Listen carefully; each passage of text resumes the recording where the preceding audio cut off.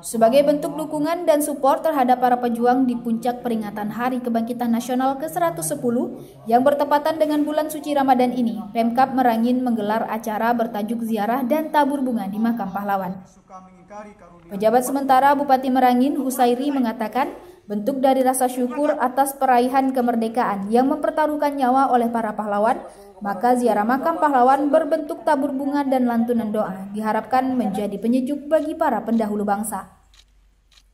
Ditambahkan PJS Bupati Merangin, momentum peringatan Hari Kebangkitan Nasional ini merupakan refleksi atas berkobarnya semangat berkumpul Budi Utomo dan anggota organisasinya yang berhasil mendorong dan menumbuh kembangkan semangat nasionalisme.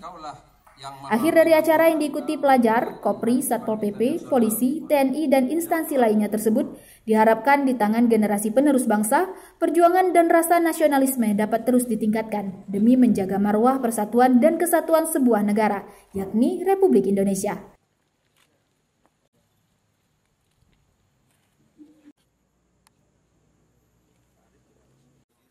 Dari Jambi, Andi Tribrata TV. Salam Tribrata.